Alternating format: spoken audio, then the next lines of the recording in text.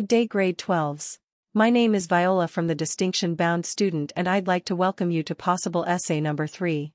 This essay is for paper 1 question 5 just like the first two essays on this playlist and also the next three which will also be on this playlist. I'll now hand the lesson over to Carden. Over to you Carden. Thanks, Viola. Uh, good day, grade 12s. And uh, in this lesson, we're going to talk about features underpinning forecasting. So, what's important with this one? Uh, well, first and foremost, it's an easy, easy, easy um, essay, and it's one that would warp it comes, hey, then you guys can uh, be guaranteed of those distinctions. Now, this essay, uh, the first thing you must talk about indicators, uh, each of the four indicators leading, lagging, coincident, and composite. Now, take note that so many textbooks do not have composite indicators. So, uh, okay, you will see it here. Uh, maybe write down those notes when we get to composite indicators.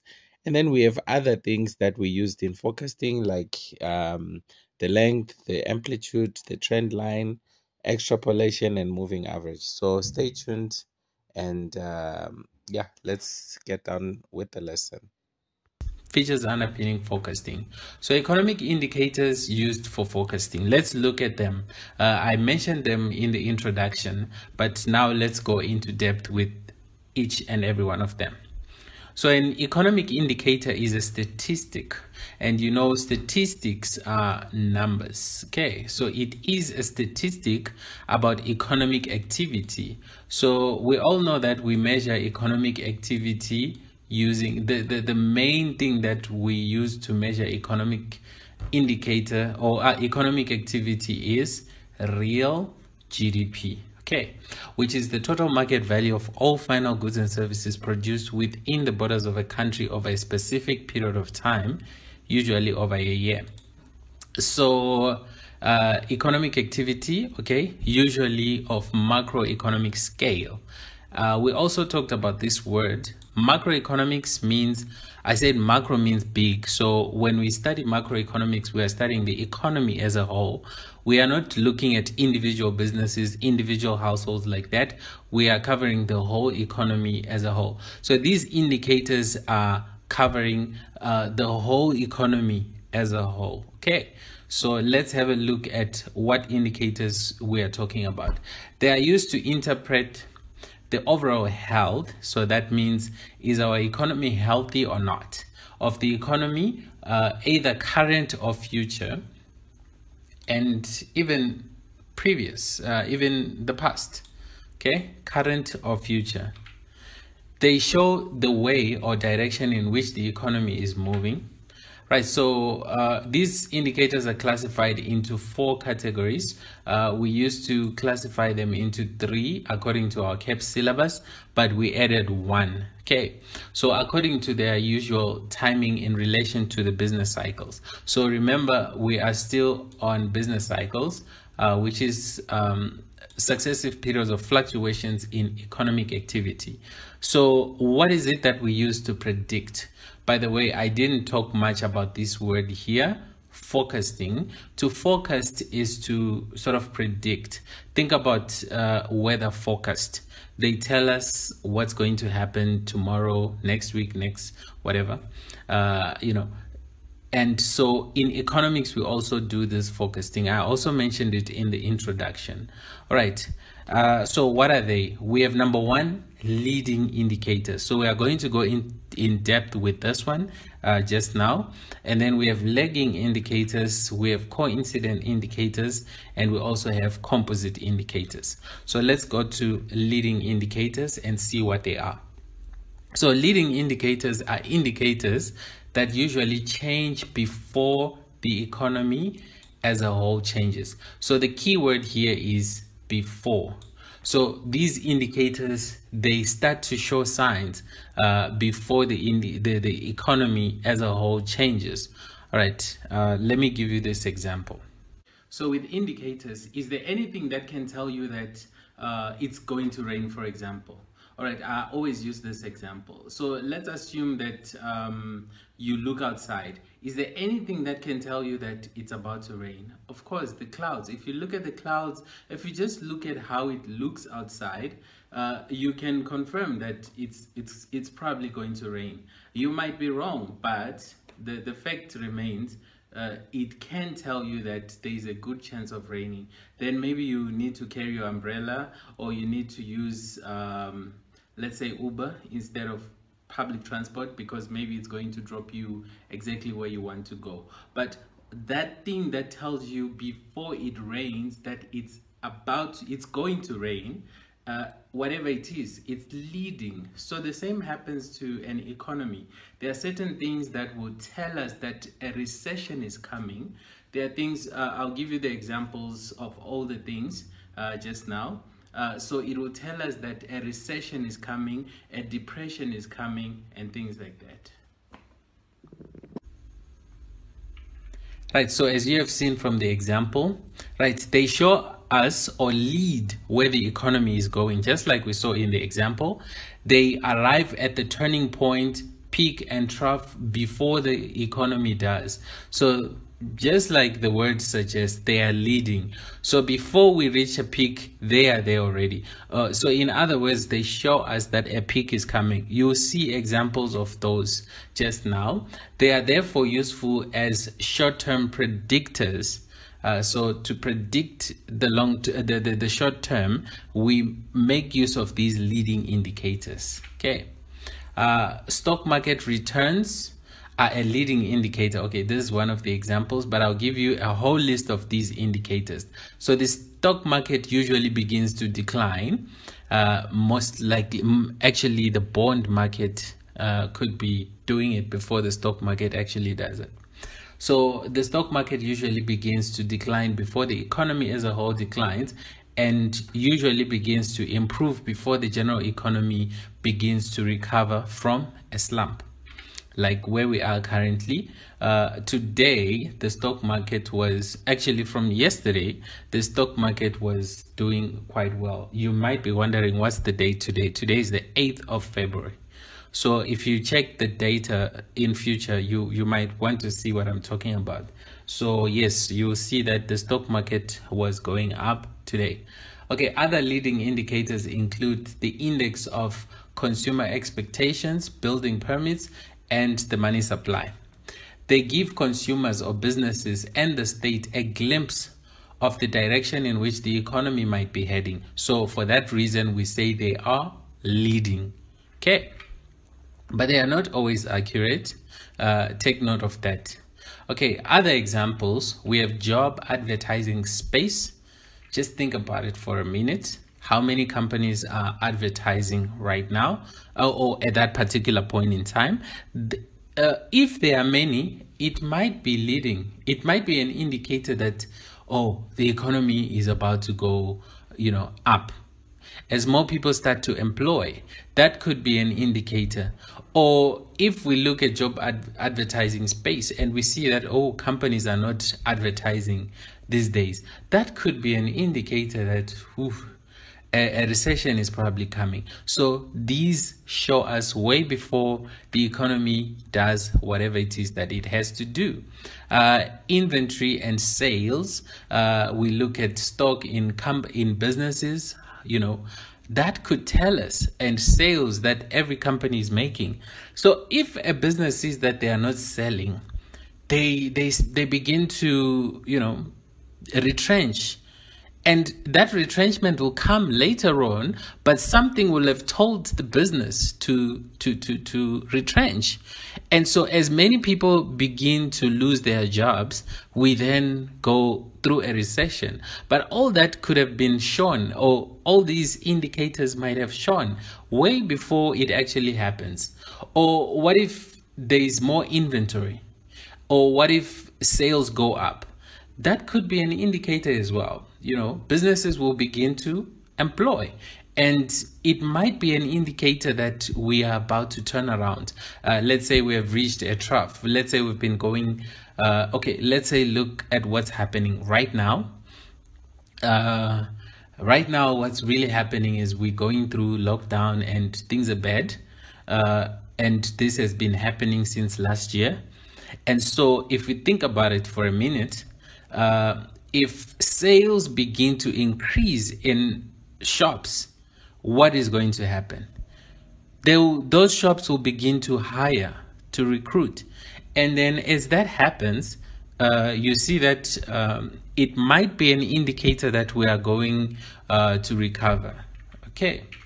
Uh, average uh, weekly hours worked in manufacturing. Okay, I'm not going to go in depth with each.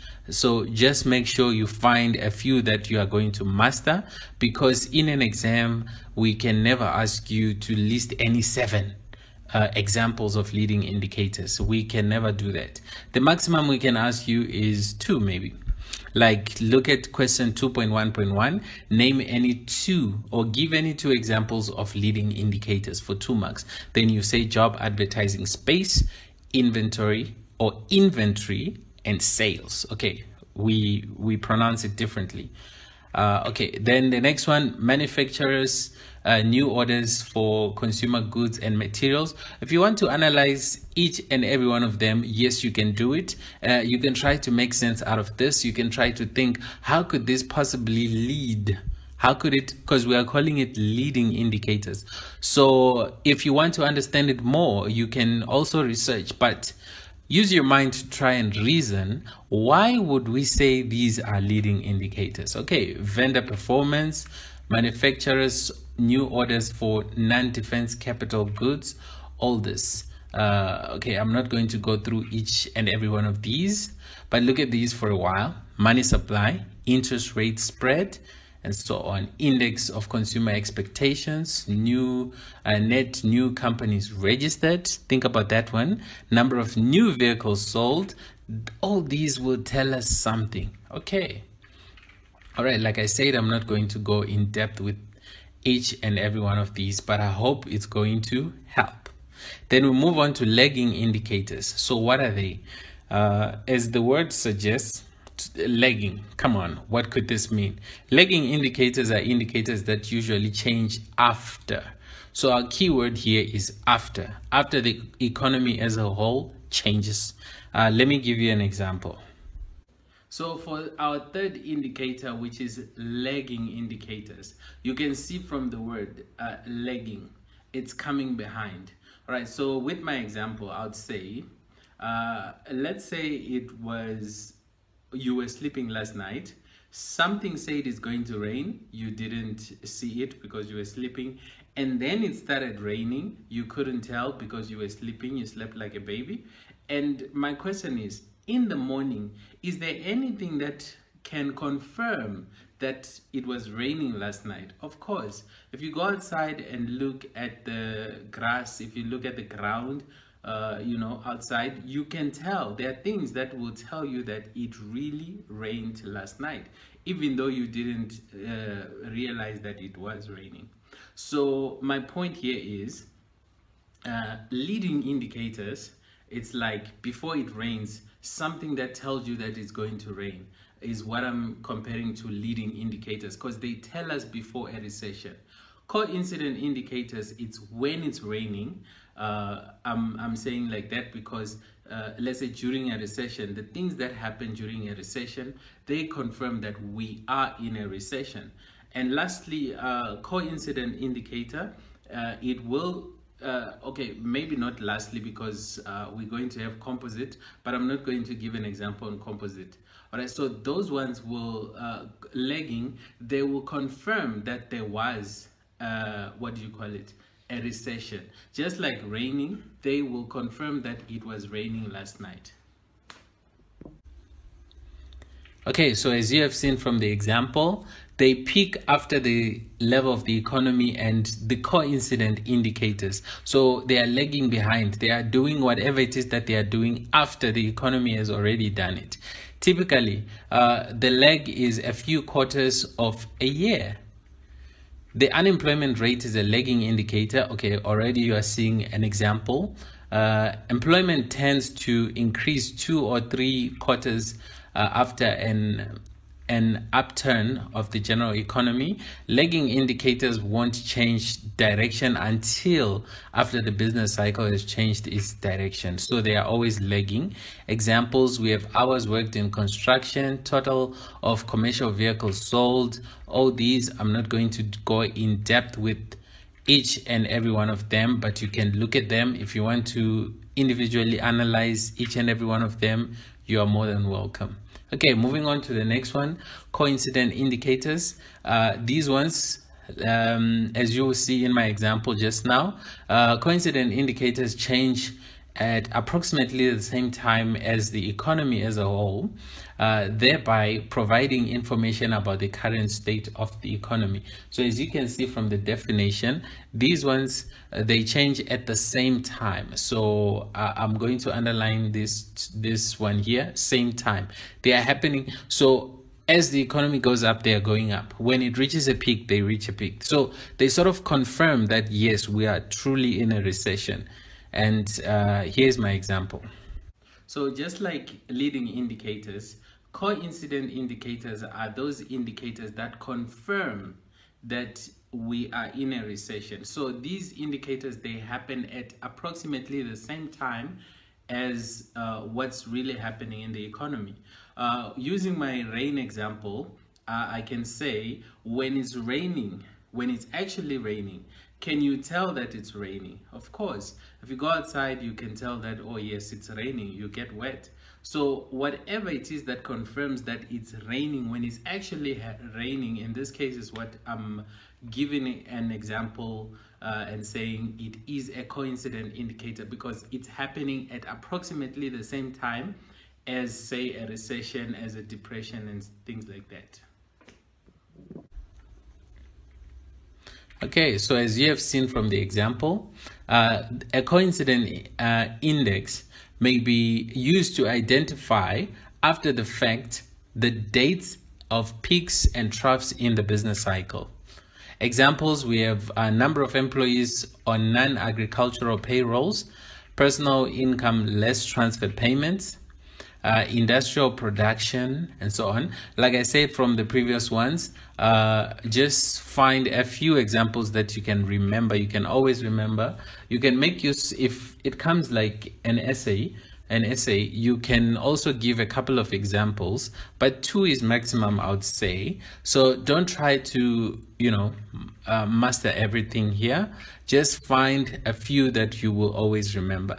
Then the last one or the fourth one is a composite indicator. And as the word suggests and if you saw my uh you know my like the way i said composite in the introduction i put my hands together like this. I was trying to you know show that yes it's all the other indicators put in one let me put it that way. So a composite indicator is a summary of various indicators. So what are those indicators? Uh, leading, lagging, co coincident of the same time into a single index. So we are, it's, it's sort of a bundle. So we put them together. That is what is meant by composite. Anyway, the word composite means that. All right, the three composite indicators, leading, lagging, and coincident, are often used to calculate a single composite indicator to benchmark a country's economic performance.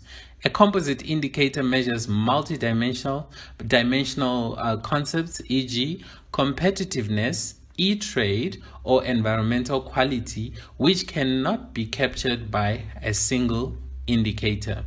Ideally, a composite indicator should be based on theoretical framework which allows the individual indicators to be selected, combined and weighed in a manner which reflects the dimensions or structure of the economy being measured. All right, so as you can see here, uh, let's say always this is our time and this is economic activity. So let's say GDP, okay? So uh, this one here, let's say, okay, let me let me just find somewhere where I'm going to draw a line. Okay, so if I draw this line, let's say time is moving. Let's say this is March. So who got to March first, it was this dotted line here. You see? Okay. And so it's actually leading. So this thing is showing, oh, oh, let me put this line here. Okay, so March, April. So let's say this is April. And in April, some things begin to happen that confirm that we have reached a trough. But in reality, this line here, it shows you that we are still going down. But these things are already confirming that yes, finally we have reached a trough and we are about to turn around. Okay. And uh, it's so this one here shows us sort of a depression. And if you look here on the same line, this one is still thinking or, or, or saying it is a recession. Because remember, we have a recession. Let's say this part here, recession, and then we have a depression, this part here, this part here. So uh, if you see here, the leading indicator is already on the trough, it's already turning around, but the, the, com the coincident is still on a uh, depression. And the last one, which is the lagging, look here, it's still on a recession. So it will still go to, uh, by the time, okay, let me draw another line here this was March, April, May. So let's say in May, what's going on with the with the composite here? Ah, not the composite, the coincident. The coincident is now saying, oh, we are now on uh, what do you call it? Trough. But let's go up with the line here. What is this? This is the lagging. The lagging is saying what? Okay, let me let me say leading coincident and lagging okay i'll just do this for the month of uh, let me start with april so in the month of april the leading is saying uh, trough the coincident is saying depression the lagging is saying what recession yeah something like this and let's look at the month of May. If let's say I go to the month of May, let me see. The first thing I see here is the, the, the what? The coincident. It's saying trough. So I'll come here and put a T. So this one is saying trough. And if I go up, I reach here. This is depression for lagging. Then I continue with my line. Here, it's saying recovery already. So if you see the leading, when it says recovery, this one is still saying what? We are reaching a trough, which is the, the actual time here. And this one is still going down, uh, if, if I may put it that way. So I'm trying to sort of make a model to make you understand that leading indicators would turn before the economy turns and then lagging indicators will turn way after the economy has already turned. So I was just trying to, I, I hope this thing, this whole thing here is not going to confuse you. Uh, there is no way you are going to draw something like this in an exam to try and explain. Uh, I'm just doing it for you to understand. If I draw some lines, remember we're saying this is a timeline. So if it's a timeline, we can put it in months, in days, in years. It's up to us. So this, I could say 20, 2018 here, and I'll say 2019, something like that. So whatever it is I do, uh, as long as I'm showing that it's a timeline, time is moving from January to February to March, uh, it can help you understand what I'm trying to explain or what it is actually. Okay. Over to you, Viola. Thanks Carden, the next essay is one of the easiest in our syllabus and Carden has instructed me to present it and I'm so excited. Make sure you watch it guys. It says discuss in detail macroeconomic objectives. Don't forget to like and subscribe to our channel. Also hit the notification bell for you to get notified every time we post new content to our channel. We are also giving away the distinction bound student t-shirts to people who buy more than 10 books. At the moment we have the following textbooks, Economics Grade 10, 11 and 12 plus Business Studies Grades 11 and 12. We are looking forward to adding more books to our catalog. Remember our books come in two versions, complete and no answers versions. Complete versions have answers and no answers versions do not. Thank you so much for your support. See you in the next video. God bless.